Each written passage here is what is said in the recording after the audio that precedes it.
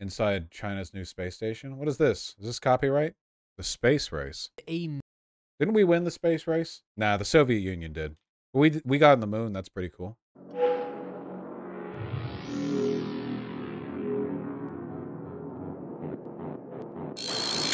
major milestone with their Tiangong space station, the third and final Mengtian research module was successfully docked to the station, bringing it up to full operation. Following the Tiangong's completion, I trust you, the Zen. Chinese Shenzhou 15 spacecraft arrived to complete the first in-orbit crew handover with a total of six taikonauts living and working on the station for the first time. By this point, we're all pretty familiar with seeing people on the International Space Station, so we have a pretty good idea about living in space. But life for Chinese crews on the Tiangong is like nothing else we've seen before in human spaceflight. So, let's take a look at what they've been working on up there in space. This is the space race. The Tiangong now consists of three modules, forming a T shaped space station that orbits Holy shit! China's T posing on the entire planet. What the fuck? We can't let them get away with this. Fire the nukes. Launch the missiles. around 400 kilometers above the Earth's surface. The Tianhe is the core command module, first launched in April 2021. The Wentian experiment module serves as a combination of crew quarters, research lab, and airlock, which was added in July 2022. New mission for X37. Yeah. Yeah, we altered the trajectory of an asteroid. Let's see if we can deorbit the space station. And the Mengtian module is a twin to the Wentian and functions purely as a research and experiment space. You know what they say about sex in space? It's far out, man. I I I am very curious. I I would want to try. I know you can do like there are those like high flying ships that do the free fall and it's being it's like being in zero G and you can fuck there, but it only lasts like 40 seconds, you know? I can't come in 40 seconds. I'm not like two thirds of you. Uh, yeah, I, I gotta go. You can't get erections or it's really hard. Yeah, I bet you can't, right? Because your blood your your your blood is operating on like an entirely different you know what i mean? Like like uh, uh, so you, you don't you don't really appreciate this unless unless you've been up in the iss because the the space guys up there have written on it but so many of our bodily systems are completely dependent on earth's gravity you know? Like so much of the shit that we just naturally do falls apart without gravity. You know, they talk about stuff like like bone mass deterioration, but even less than. I, I mean, even just very basic, like how your head feels, uh, how your body feels. You're feeling your organs slosh around in your body, man. Jeez. Sex is forbidden by NASA regulations. That would make sense. They do not want astronauts to fight with each other. Your bladder has to be full to feel any urge to pee because urine floats, floats in a ball inside your bladder. That is fucked. That is fucked up. That is fucked up. That is fucked up. Holy shit.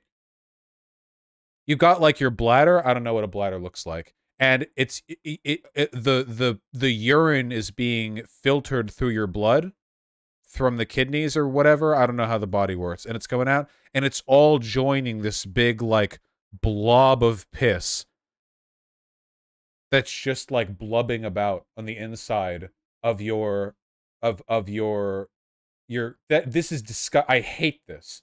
Oh my god. I hate this so much. So the only way you could pee is if like the the the urinary tract starts there. You would need the ball to be so big that it came into contact with it and then you would have to rely on capillary action like liquid moving through a straw in order to push the whole bubble the the whole big piss orb out through. It, you would basically be like putting a straw to a blob of water floating in zero g and sucking it up except instead it's the pressure from your urinary tract sucking it through right? That's insane. There are piss muscles? Yeah that's what creates the suction force wouldn't the muscles push it out yeah that's the suction force from the urinary tract i don't i don't i'm pretty sure it doesn't like no the muscles compress the bladder But that's not the majority of what makes you piss, right? The compression of the bladder. Wait, hold, hold on. How much does the bladder compress? It can't be more than than a portion. I'm not reading much on the compression. Guys, I think the muscle is about I think the muscle is about moving the piss from the bottom of the bladder out through the urinary tract. Right? No? No, that's wrong. Wait. I can't believe I'm about to Google this unironically. How do you pee? The brain signals the bladder muscles to tighten, which squeezes urine out of the bladder. Okay, but how much does it compress? That's what I was looking for. Like, if, if the internal volume of a bladder maxes out at like one liter, I don't know if it's that. I'm just saying, can you can it be compressed to a half liter, a quarter liter? How how much? Bladder muscles tightening. The hypertonic pelvic floor occurs when the muscles in the pelvic. Okay. How much can bladder muscles move? The walls of the bladder are mainly formed by detrusor muscle, which allows the bladder to contract to excrete urine or relax to hold women. Contract by how much? How much can bladder contract? It's just telling me how much it can expand. Just watch this video. Most learn to use space. No, no, I want to specifically know how much the muscles of the bladder cause the bladder volume-wise to contract. Look up volume of empty bladder. Volume of empty bladder. Is your bladder ever completely empty? Your, uh, your bladder never completely empties. What? Okay, so it must be from constriction, because if it was gravity entirely, then there would... So it is from constriction. So if it's saying that you're still going to have 50 milliliters of piss in your bladder after you're done peeing, is that then the internal volume at maximum constriction? You can't constrict your bladder more than 50 milliliters? Because if that's the case, that is a massive difference between a fully expanded and fully contracted bladder. I didn't realize the muscles of the bladder were that um, capable of what? Wait. But this image is making it look like it just pours out like gravity. It contracts, but it just pours out. If it's pouring out, then why can't it all go out? Can you piss upside down? You can piss upside down, can't you? I don't think I've ever tried, but I feel like it's something I could do if I wanted to. Okay, I'm losing my mind right now. Let's just say that it's a mystery and science has not yet solved the P question, okay? I don't want to talk about this anymore. The first thing that you'll notice about the interior of the Tiang... There's not air in the bladder, that drawing is just wrong? Okay, wait. So the bladder will never contain anything other than pee? The bladder doesn't have air as a way of diffusing pressure? You can pee blood? Okay, well, you shouldn't pee blood. Only under unhealthy conditions will your bladder have air in it? Okay, then if there can't be any gas in the bladder, then it must constrict entirely to an internal volume of 50 milliliters after you've finished peeing. When you pee from a full bladder to an empty bladder, it must literally be like a full balloon that constricts all the way down to a tiny little, highly constricted muscle nugget with just a little bit of piss left in it. I didn't realize it was so spongy. Okay. That's what we've been saying. Yeah, but the I wasn't getting any like diagrams to indicate it constricted to that point. I was being shown a a, a, a bladder that had uh, empty space in it outside of the P, then gravity shouldn't matter? Yeah, then gravity shouldn't matter. If you can constrict your bladders all the way down to an internal volume of 50 milliliters, then how would... Does zero G make peeing harder? Urination is caused by contraction of muscles, not by gravity. Today I learned low gravity makes it difficult to tell if your bladder is full because the bladder's stretch receptor doesn't feel the weight of the liquid. Okay, so being in zero G doesn't make it harder to pee. It makes it harder to know that you need to pee because you don't have the weight of the piss weighing down on your bladder. Your bladder still expands as it would normally. It's not just floating around in there. Uh, but it's not weighing at the bottom of it, which is how your body normally tells because gravity indicates to your body the internal mass of the of the urine. Okay. So you would have the weird feeling of feeling like you don't have to pee at all, but then you would pee for like 40 seconds straight or something. Okay. That's not how that works. Yes, it is! Tiangong is that it looks spacious and wide open, especially when compared to the ISS. Tiangong has a very minimalist, modern design. What's interesting is that the outside diameter of the Tiangong modules are nearly the exact same as the diameter of the ISS modules, about 4.2 meters or 14 feet across. And how are they? So the difference is in the volume of internal space available. There are a few reasons for that. For one, the ISS modules are typically much shorter with more connection points in between that create bottlenecks in the structure. For example, the Destiny Lab on the ISS, which is the primary operating facility for US astronauts, is 8.4 meters or 28 feet long, while the Wentian and the Mengtian modules are both 18 meters or 59 wow. feet in length. And secondly, the technology on Tiangong is just much more modern and therefore smaller and able when did the ISS get put up again? It was in the late 90s, right? It makes sense that the Chinese space station would be way more advanced than the uh, old one.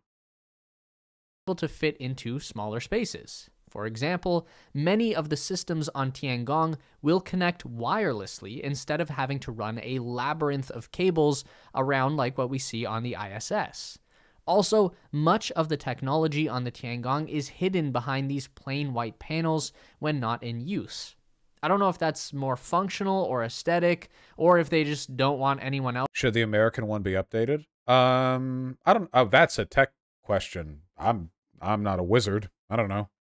To be able to see what they're working on, but it does help make the station look very clean. And wait, hold on. What they're more fun. I'm smelling Tesla bullshit functional or aesthetic, or if they just don't want anyone else to be able to see what they're working on, but it does help make the station look very clean and modern. Okay. Again, totally not a tech expert. However, I'm sure the stuff in the Chinese station is a lot more modern too. However, I think you could say there are very legitimate reasons for why the inside of the ISS looks like this. Like, I have heard about like in terms of modularity, repairing, uh, identifying issues. I think that having like all this exposed stuff has been written on to be better. I could be totally wrong. I feel like the potential downside of having everything covered up like this, even though it obviously looks way nicer and is easier to move around, and the tech is probably a lot newer, is that it might be a little bit more of a kind of black box, I guess, in terms of like, oh, something's wrong, tear out all the panels, what's going on. I don't know. I, I'm always suspicious of anything that looks like it cuts down on visual complexity for the modern or sleek aesthetic. That might just be the way it's being presented by this channel, though. And again, like the people who designed this were geniuses, and I am not, so. Spacewalks have become an exciting feature of life on the Tiangong. There are three of China's own EVA suits on the station, kept in the Wentian airlock, Spacewalks are helped out by a combination of two robotic arms on the station. The Tianhe module has a 10 meter arm, and Wentian has its own 5 meter arm. Who was and- the first person who did the unassisted spacewalk? 35 years ago, the first untethered spacewalk. The fucking brass balls on this guy, dude. Holy shit. Bruce McCandless made history performing a spacewalk during STS-41B with no lifelines tethering him to the Space Shuttle Challenger. He used a jetpack? Yeah, yeah, like with the gas to propel him back. Used a manned maneuvering unit? Yep, like in Kerbal Space Program. McCandless and astronaut Bob Stewart completed separate untethered spacewalks during the mission, both venturing more than 300 feet from the Challenger. Fuck that! You're moving at like 500 miles per second above the Earth. Jesus Christ. You're moving faster than a bullet? Oh, far faster, yeah. Jesus Christ. Isn't that dangerous because of space debris? Well, at, at the at the orbit of at the orbit this was done at, I don't think they were that worried about space debris, but it could happen, yeah. Yeah, his his brass balls gravitationally paired him to the shuttle exactly. He could just jetpack back to, back to Earth if he got lost. Yeah. The fucked up thing, right, is that if a spacewalk goes wrong and you can't make it back to the ship and nobody can rescue you, you don't fall back to Earth. You stay up there and freeze slash starve slash whatever. You you die in several ways uh, up there. Uh, oxygen would be the first one, right? Yeah. Uh, and you just float and you just become part of the orbit, like basically forever.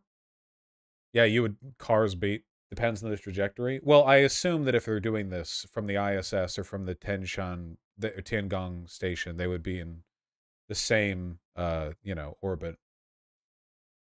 China wants to have a legit moon colony in the 2030s, and their space program has been very successful so far, so we'll see. I'm rooting for them. I mean, I don't like the Chinese government, but it's not like I'm crazy about the American government, you know? I, I, a, a moon base would be awesome. The cool thing about a moon base is that, like, a Mars base would be a sickening waste of time and money and human life. Uh, but a moon base could actually be useful. It could actually be really, really cool and useful as a fuel depot and a construction site that you could use to cheaply get stuff into orbit imagine like there are so many materials that go into space production and flight that you could restock on the moon and then you could just leave the moon's orbit with no fucking effort. Because if you want to get up from the Earth, if you want to get into Earth orbit, not only is the gravity way stronger, but you also have to get through the fucking atmosphere. But from the moon, there is no atmosphere. The gravity is like one sixth that of Earth, one one sixth, I think. So you could just zoop. I think so, uh, Zan. Hey Vaush, aerospace engineer here. The main stuff we leave stuff exposed like that is one, maintenance access, and two, covers for that stuff are wasted weight. You have to spend a lot of fuel. Oh, yeah, that's true. Every additional pound of shit you want to put into orbit is like 5 billion, trillion, quadrillion dollars. Like, they'll have you take a piss before you get on the rocket just to make sure that all their fucking toilet receptacles are empty because that will cost that much more fuel getting you into orbit. It's, it's so much more, yeah. This is why uh, having a moon base would be super useful. Do you think they make you jerk off too? Bruh, empty those fucking balls before you get up here. They, you're in the purge room. They have a bunch of like NASA fluffers furiously jerking you off while you're making yourself throw up and shit and piss at the same time. You just go up there like gaunt, uh, 20 pounds lighter. And what's really cool is that the two can combine together and function as one single arm. This comes pretty close to matching the capabilities of the 17 meter long Canadarm 2 on the ISS, and in a lot of ways, the dual arm system of the Tiangong is much more useful. The 15 meter arm was used in a recent spacewalk in mid November, where the crew in. Okay, yeah. So just for comparison, uh, the fuel ratio, um, fuel ratio taking off from Earth to orbit. The fuel ratio, like how many pounds of fuel you need, eight eight pounds of rocket fuel to get every one pound of thing into low Earth orbit. Uh, so so for so for every guy, which is two hundred pounds, that's fucking sixteen hundred pounds of it. It's it, so it, it like it's a lot, you know. But from the moon, it's about a one to one ratio. Uh, to leave the surface of the moon uh, the weight of fuel is about 50% the total weight, which is like ridiculously efficient in comparison. Another cool thing about a moon base is that you could have um, Wi Fi there. You could also beam energy there pretty easily, right? That's a real technology. When they beam like light, you could like have a laser. The moon's close enough that you could probably do that from um uh uh like that's that's like a reasonable tech thing, you know, like focusing sun rays or whatever.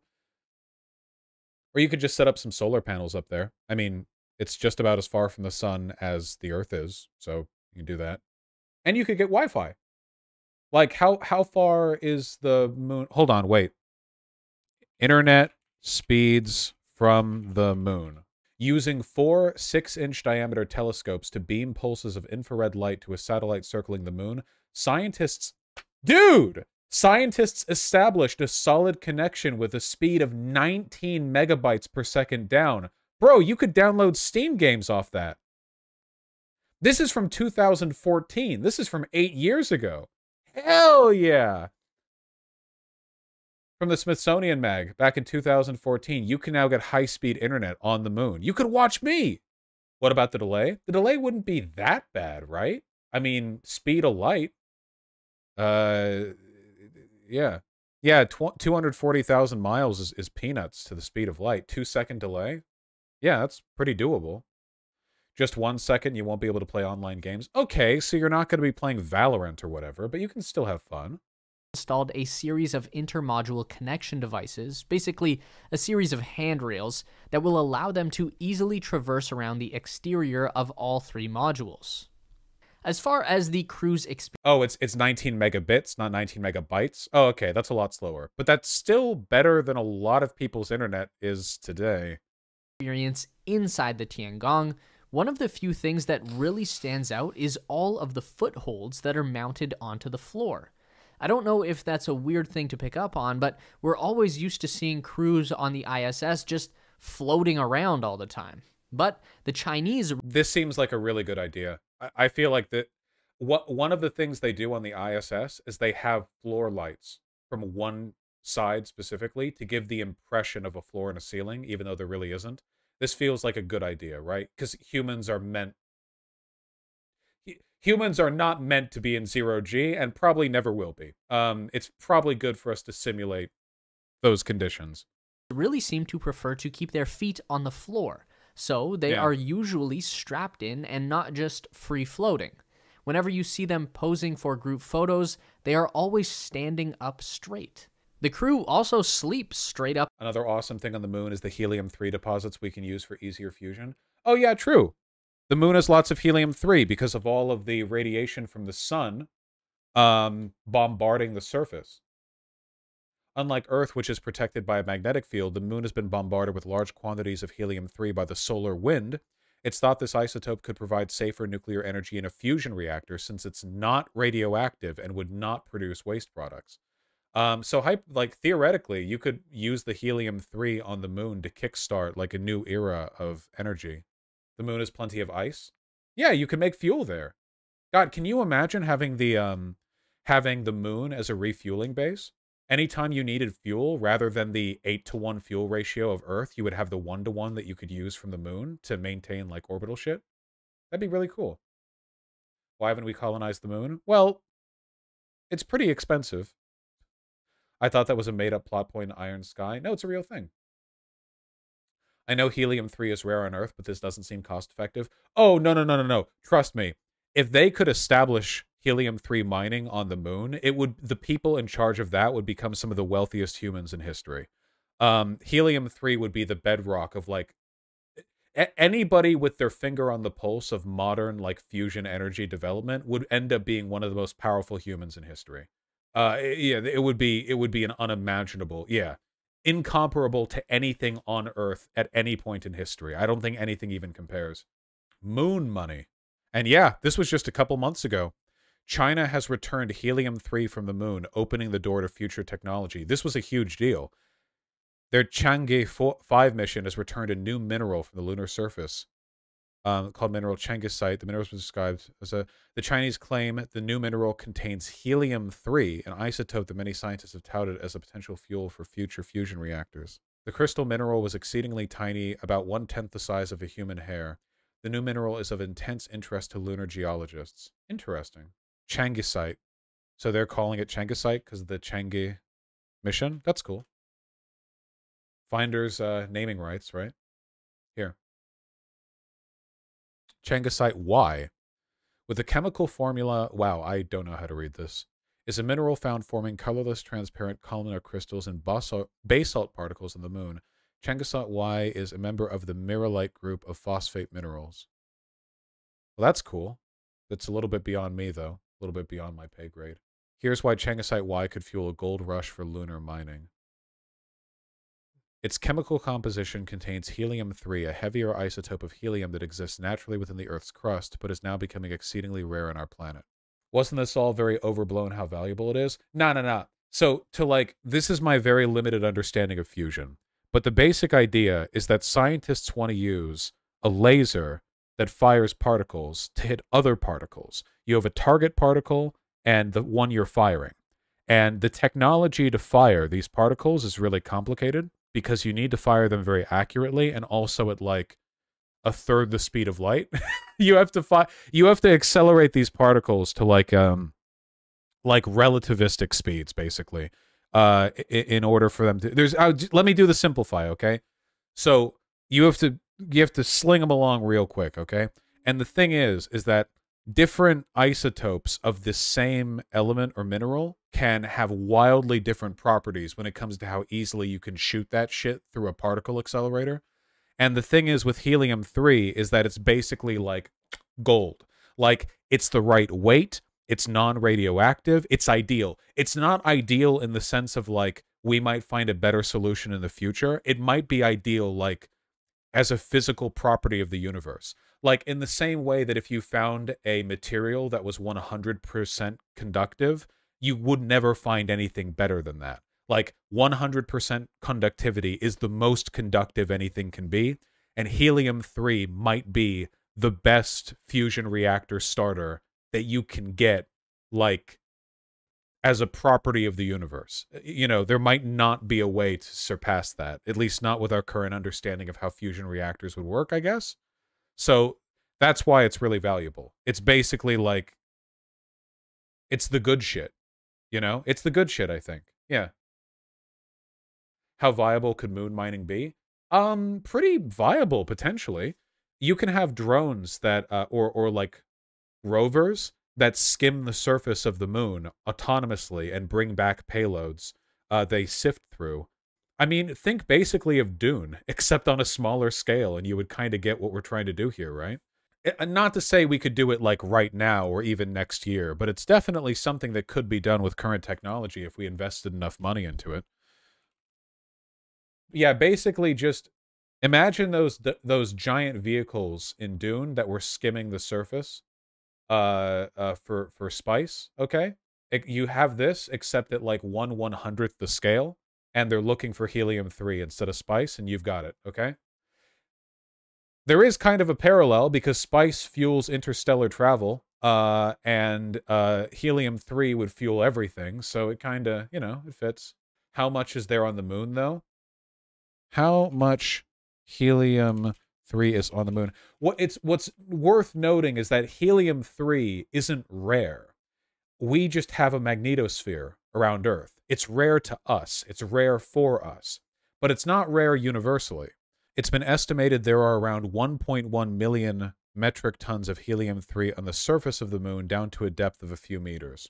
That's pretty cool you don't need that much uh, helium 3 to do fusion after all. I mean you don't need it's not like oil you know you don't like get a gallon of helium 3 yeah it's it's all over the place. What happens when we run out? Well ideally yeah the moons of jupiter have a ton of it too. And keep in mind that the energy contained within even a tenth of this helium 3 if you could use it for fusion this would be enough energy to catapult humanity into entire another fucking tier civilizationally.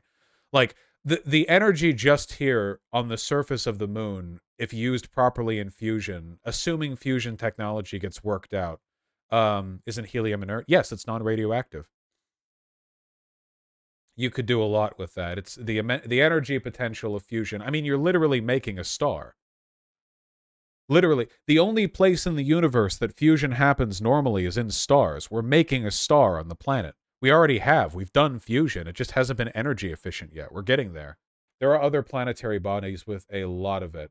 Is there helium 3 on Jupiter? One earlier estimate. Helium 3, helium 4. How much helium 3 would it take to power the US? Scientists estimate that 25 tons of helium 3 could power the United States for a single year. This amount of helium 3 could be transported from the moon to the Earth in a ship the size of the recently retired space shuttle. So yeah, this would be this would be enough for the planet for a long time, even a portion of it. But there's more. Where can we find helium three? Not just on the moon, but there are other other places. Um, lunar surface, terrestrial abundance. What about other places? Extraterrestrial. Here we go. Last thing, then we finish the video. Sorry about the delay. Materials on the moon's surface contain helium-3 at concentrations between 1.4 and 15 parts per billion in sunlit areas. Fusion. Gas giants. Mining gas giants for helium-3 has been proposed. The British Interplanetary Society's hypothetical Project Daedalus, great name, interstellar probe design was fueled by helium-3 mines in the atmosphere of Jupiter. Uh, for example, does it on Jupiter? Does it have a compositional breakdown involving helium 3? Jupiter's upper atmosphere is 10% helium by volume. What about helium 3? Huh? Nah. It's okay. There's a lot of it out there. How rare is helium 3? I've read about this. It's it's light stable isotope. Scientists discover unexplained abundance of rare nuclear fusion fuel on Earth. Helium 3, a potential source of limitless energy, may be 10 times more common on our planet than previously thought. Well, that'd be cool. If helium 3 is so good, why isn't there a helium 4? There is actually. Hmm. This ratio is about 1 to 10,000 or 100 parts of helium 3 per million parts of. Whoa, wait, really? Wait, Jupiter's upper atmosphere has 100 parts per million of helium 3? That's a fuck ton. That's an infinite amount. 100 parts per million? That's that's infinite helium 3. From Jupiter? Off the helium 3 Wikipedia. Yes. Did I just miss that? Oh my god. That's infinite. That's literally infinite. You could you this this is this is infinite. Ratio about 1 to 10,000 or 100 parts of helium 3 per million parts of helium 4. Roughly the same ratio of isotopes in lunar regolith, which can terrestrials. God damn. Jupiter's escape velocity though. Oh, no, I th- that's a far future thing, you know. Uh, it's a it's a far, far, far, far future thing. Just wild. Lamp thank you so much for the fifty dollars. I really, really, really appreciate that. Thank you. Random curious question: What are your top three favorite animals? Um, probably the ones I own, right? Cats, crested geckos, and um, leopard geckos because I have them. You know, they're cute. Oh, I had leopard geckos. The ones we had passed because they're dumb and old. The economics of mining Jupiter, though? Well, maybe Jupiter's moons would have it. I mean, if Jupiter has a lot of helium-3, it makes sense they might have some as well. At least it makes sense to me. Anyway, anyway, I'm sorry. Thank you very much for the $50. I really, really appreciate that. Here, come on, let's finish this video. We've had a, we've, we've, we've, it's a good stun lock. It's a good stun lock.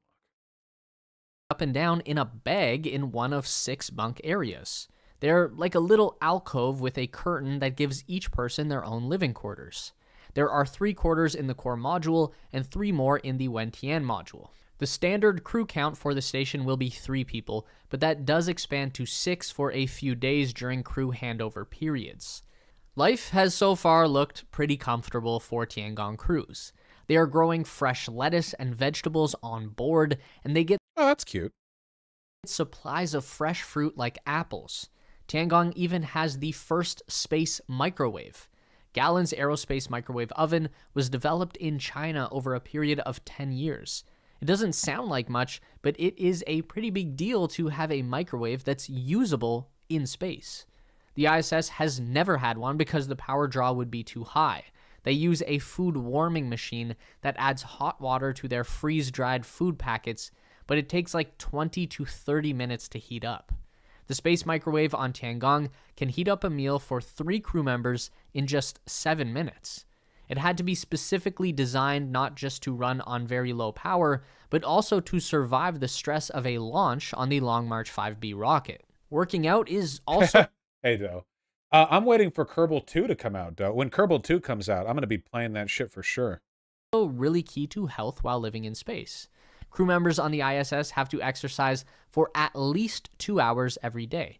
It's important to maintain as much muscle and bone density as possible, and regular exercise also helps to prevent fluids from building up in the person's head. The Tiangong Sheesh. has a special treadmill and cycling station for cardio, pretty similar to what we've seen before on the ISS. The newer Chinese equipment is just much smaller and more integrated into the design. And for resistance training, the new Mengtian research module came equipped with a rowing machine.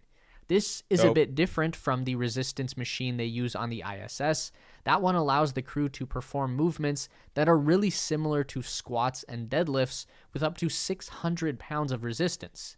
I can't imagine any. No shot your average American would be able to live in space. Oh, oh, no, no, no, no, no, no, no, no, no, no, no, no. You need to be. Astronauts are literally in peak physical condition. You need to be like a, a physically a superior human. You have to be a, like an athlete to even survive in space for a length of time. You're, the average, yeah, no, the average human could not live in space. I'd be willing to bet most of the people in chat, if they were sent into a zero G environment, would probably die within a week from like any number of internal problems that would just instantly flare up and kill you uh, in the absence of like regular Earth conditions. You need to be trained so much for that. Astronaut has ever pulled 600 pounds in space before, so the rowing machine is probably a smaller and more efficient way to get very Literally similar so. muscle activation. Obviously, the main reason that the crew is up there is to do work, conducting research and experiments that will help to further our understanding of life and the universe. With the addition of Mengtian, the Tiangong now has a total of 23 experiment racks on board, with an additional 50 platforms for exposed experiments on the outside of the station. These experimental racks are going to allow them to conduct experiments on ecology and biology in space, fluid physics, combustion, material science, and the effects. Dude, the, this is literally the fucking Kerbal Science module. What the fuck?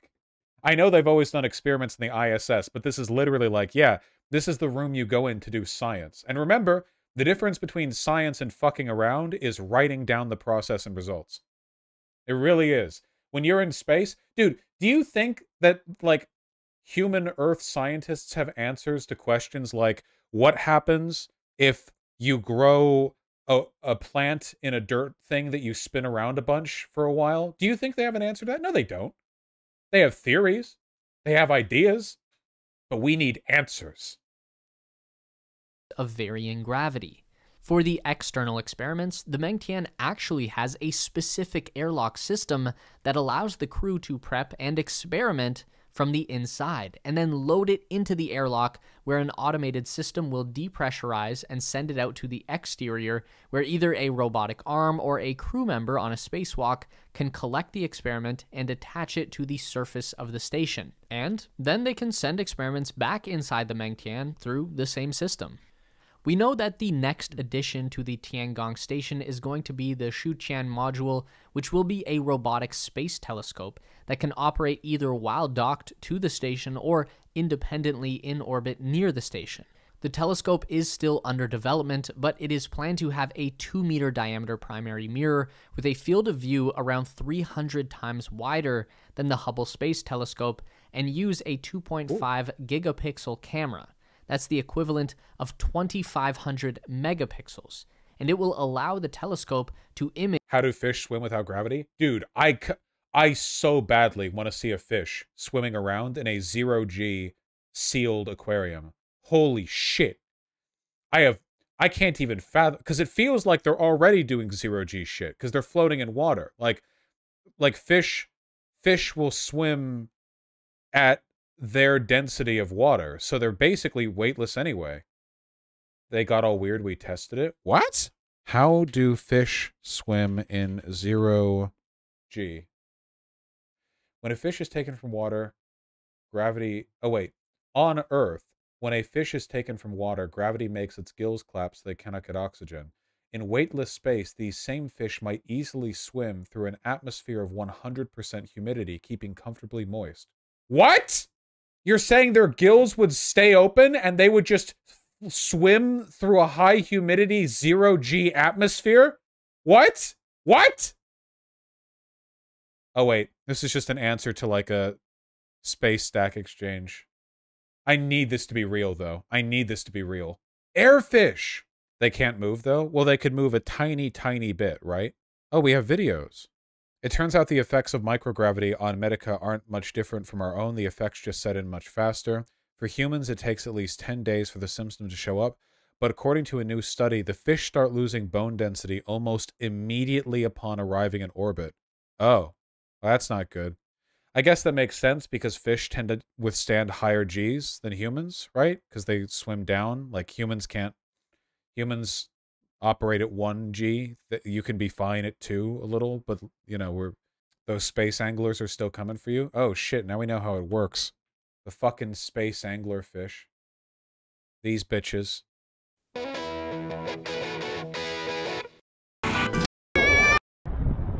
What the fuck? what a video to skip through.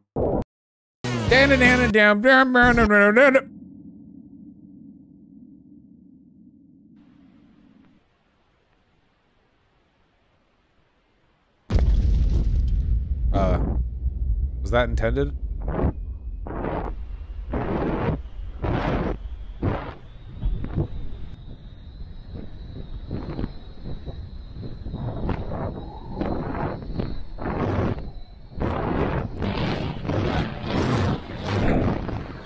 Okay.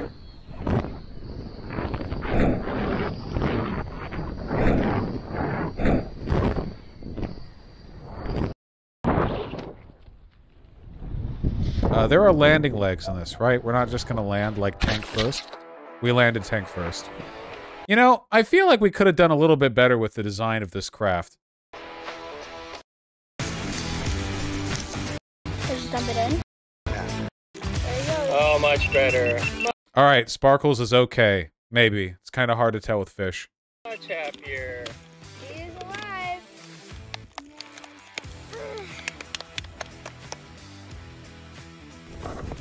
I'm not Wait, you're all kids? Okay.